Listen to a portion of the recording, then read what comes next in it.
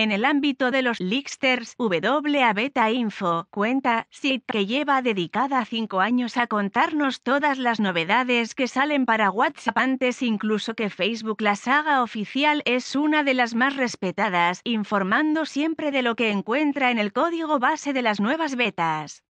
Y esta semana, el dueño de WA Beta Info ha hablado nada menos que con Mark Zuckerberg, CEO de Facebook, la dueña de WhatsApp y Will Cathcart, el jefe de WhatsApp. Es muy probable que tengas una cuenta en una aplicación que compartes en varios dispositivos.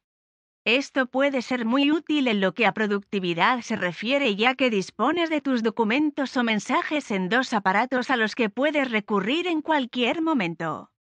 Pero no todas las apps funcionan de la misma forma y necesitan de ciertos requisitos estrictos para su correcto funcionamiento. Este es el caso de WhatsApp que como bien sabrás no puedes ejecutar en dos teléfonos con la misma cuenta. En caso de que lo hagas, la aplicación te preguntará sobre el terminal en el que quieres que se reciba toda la información con la que vas a mandar y recibir mensajes.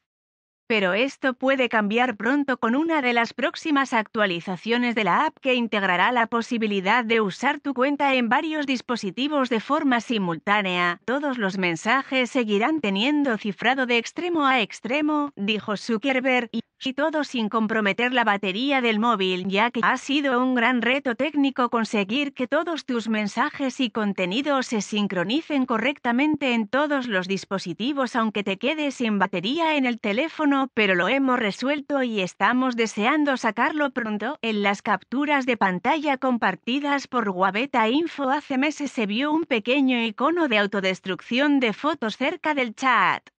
El icono está situado justo ahora mismo. Podemos hacer esto en WhatsApp. Y uno abre el chat de WhatsApp, 2 toca el 3, toca 4 si se te indica, toca 5 selecciona. Con esto activas los mensajes temporales, la app y